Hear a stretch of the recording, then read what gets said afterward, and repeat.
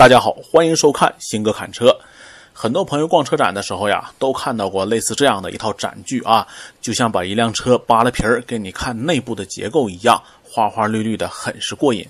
但却并不十分了解这不同的颜色代表什么不同的意思，更是对有些车身构件奇怪的设计形状感到费解。今天咱就借着广汽丰田的这套展具，为大家详细讲解一下啊。说来也简单，这不同的颜色呀，就是代表不同的车身构件所应用的钢材标号是不一样的。那么对人类来说啊，啥钢材都是足够的坚硬，都打不动，对吧？但是对车就不一样了。对于碰撞安全来说呀，不同标号的钢材，那个强度可真是天差地远呐。就像在这套展具里，所有标红色的钢材都是超高强度钢。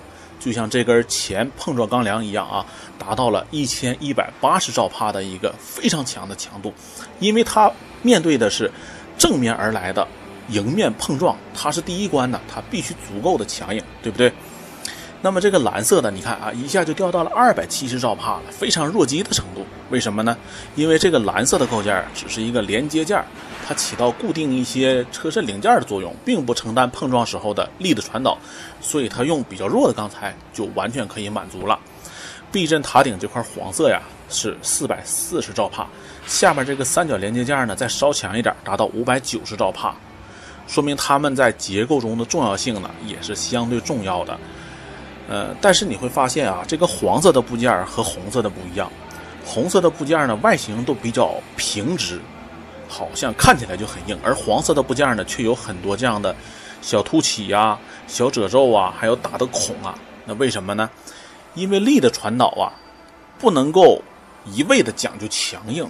如果车设计的太硬的话，撞击起来车没事人就震死了。所以呢，在力的传导过程中呢，就设计了这很多的凹槽啊、小孔啊，让它在比较大的碰撞中啊，能够一级一级的压缩、变形、溃缩，在压缩、溃缩、变形的过程中，不断的一步一步的吸收碰撞的能量，最终传导到成员舱，这个碰撞的能量就小得多了。那么成员舱的坚固是非常重要的。你看这个 A 柱，啊，以及向后延伸过来的这一长条，还有这个竖着的 B 柱。啊，以及下边门卡这一部分，都是用的超高强度钢。这个黄色的一部分呢，是为了有侧面碰撞的一点缓冲度，用的这个中等强度的。车身内部的底盘部分，啊，你看这个防火墙下面这个横梁啊，车身的两侧的这个纵梁，用的都是超高强度钢。这个圆洞是方向盘下边那个转向柱是从这个圆洞伸出去的啊。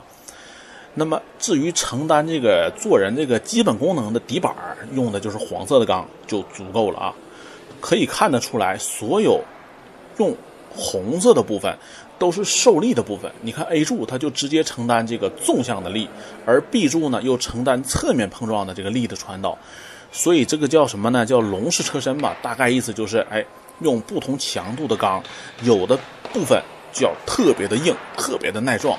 而有的部分呢，像黄色的啊，就要既有硬度又有韧性，还能够一级一级的压缩变形，来缓冲啊，把这个一次猛烈的碰撞，通过不同的一次次的变形溃缩，分解成几次啊比较弱的碰撞，这样呢才能保证车内成员的安全。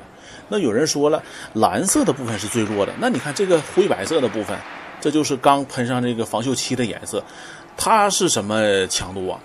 这种钢哈，那就是最弱的强度了，比蓝色那个还弱，只是承担一个结构的造型而已。